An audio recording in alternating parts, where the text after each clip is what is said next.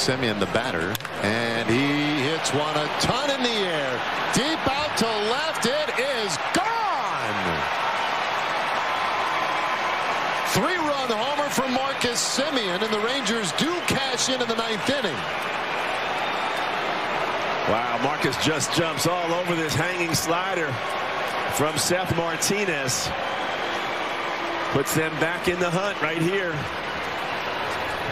That Eight. score at 8 to 5. Yeah. There's that slider right on the inside part of the plate, right in his sweet zone.